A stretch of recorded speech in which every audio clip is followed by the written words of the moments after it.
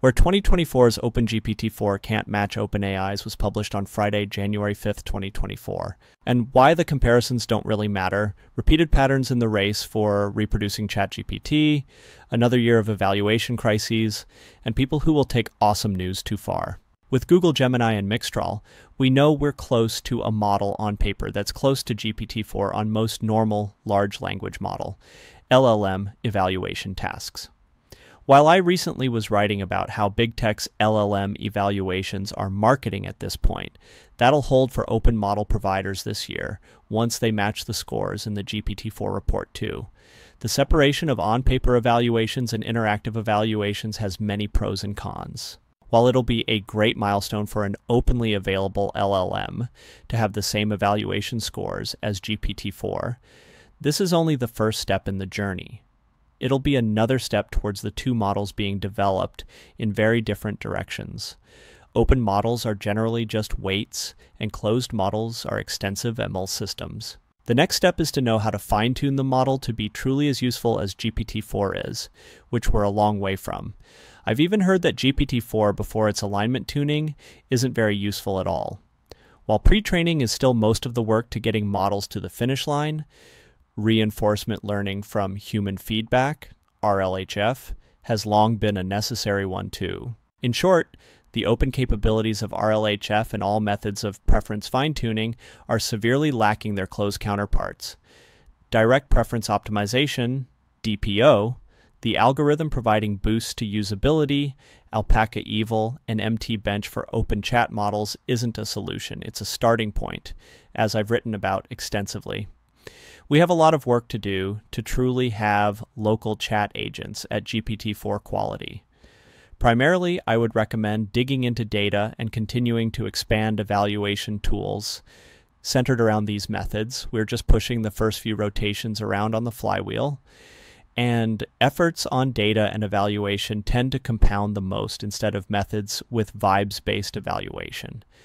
This is epitomized by the fact that most fine tuning data is derivative of GPT-4 or a related model like Claude. OpenAI's John Schulman already gave a very good talk on why training on distilled data can limit the performance of a model. All of this analysis is grounded in the original version of GPT-4 and doesn't account for the fact that GPT-4 Turbo is a step ahead in many benchmarks, most importantly, Chatbot Arena. Tai passer and Matching GPT-4 benchmarks in only a year, which would be in March or April, would be a huge achievement. I just don't want people to overstate the claims.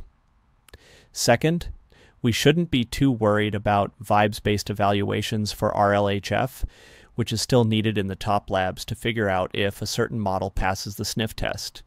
We should just be worried about not taking our blind spots into account. Models versus products. There's another level to this when you start comparing something like ChatGPT 4, which is an odd naming scheme, to the base model itself that is weights available and similar in performance to GPT 4. ChatGPT is a product, and the comparisons we'll be making are to a model. Okay. Products make it easier to use models. I'm not an expert on LLM serving, prompting, and control, but I'm fairly sure there's more than meets the eye behind the ChatGPT box, in addition to just safety. This apples to ranges vibe is why it's so frustrating to see so many people touting ChatGPT as dominant over model releases from academia and beyond. They're just different things. We should treat them as such. The clearest example is in safety. It's a reasonable idea to release a model that refuses the most offensive requests, but that makes the model a little bit harder to train. Systems like ChatGPT handle a lot of these requests with another machine learning system after the outputs. They look at the stream of incoming tokens and decide if the generating LLM's outputs are suitable. The separation of tasks in modular systems and products will only get more nuanced from here for the likes of OpenAI and Google. So let's not flatter them by giving their closed LLM systems too much focus on the development of open alternatives. RLHF progress.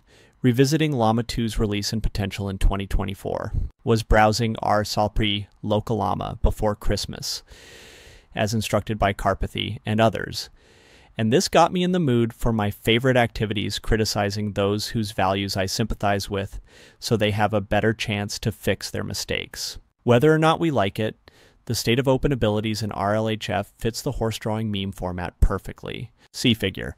The gap is represented in how I'm sort of the face of open RLHF, not someone who has been doing this for five years. All of these people are under lock and key at OpenAI, Anthropic, DeepMind, etc., or building a startup to try and capitalize on how valuable this area is.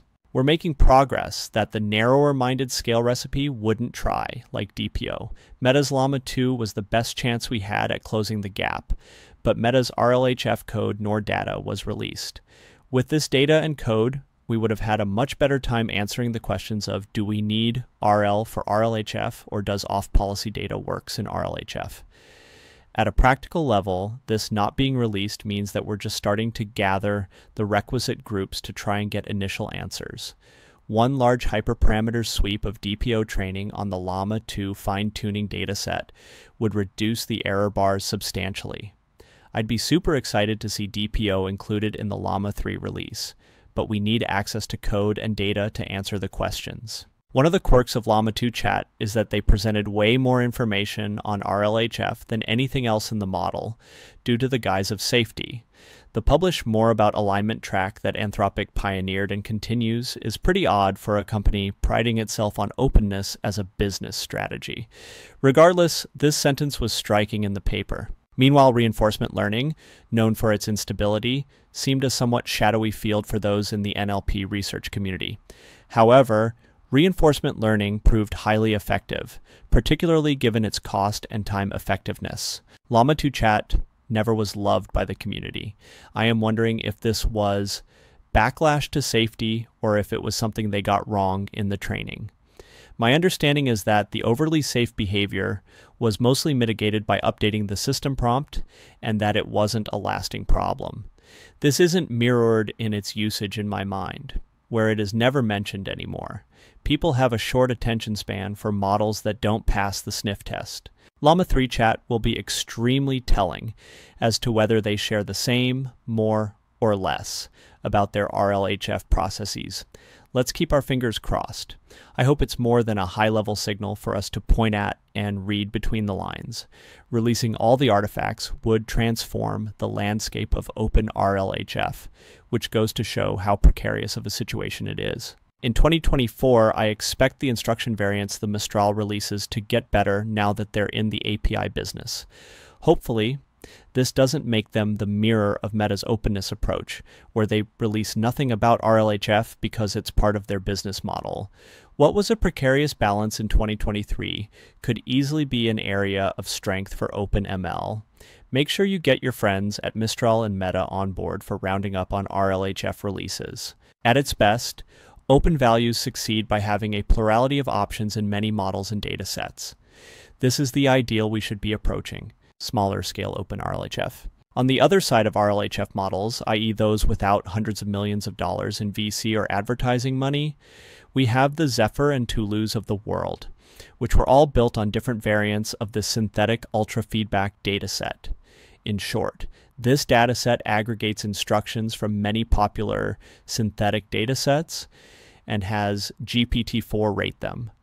I don't know why it does so much better, but if I had to guess, it would be mostly around the quality of synthetic instruction data, improving constantly throughout the year. This, combined with the fact that GPT 4 was a huge step above GPT 3.5 in its ability to act as a judge, GPT 3.5 couldn't even do basic formatting like exporting an integer reliably finally pass through the system. The likes of Hugging Face, Allen AI, Stanford, etc. are leading with training. This group is very different and way more narrow than instruction fine tuning, IFT, where everyone, where many prominent individuals and research labs sprouted up, such as Nous Research, Alignment Lab, Disco, The Bloke, and many more I missed. It seems to take a bit bigger teams and a bit more computing to find the settings that work. As I was saying, Mistral's instruct models seem to be quickly passed by all these smaller players in 2023. It seems like they're focusing on pre training for now, which is smart and more labor intensive. I still stand by what Raj and I have been saying on Twitter for a while.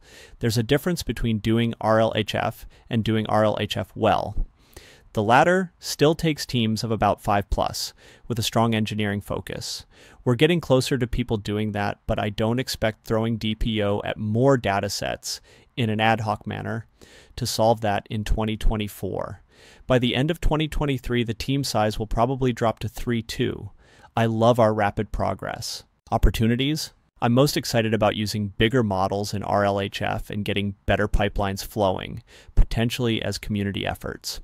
The former is mostly due to the way that bigger models tend to be more nuanced and responsive in conversation.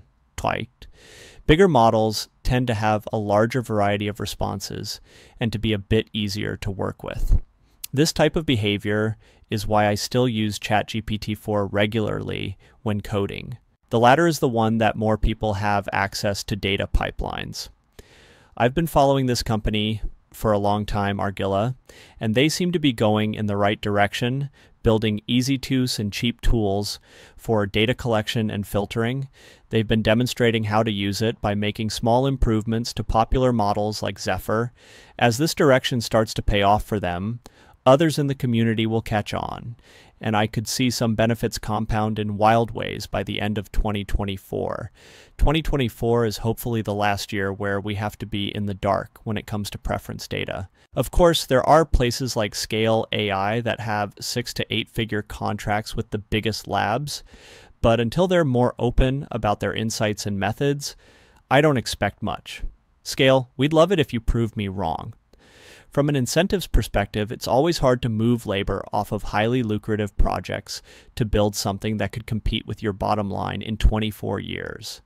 This is the case that preference data is commoditized, but the community plus Argilla has a long way to go until we know how the most advanced tricks of RLHF data, like iterative data collection and model version updating, as discussed in John Schulman's Proxy Objectives talk.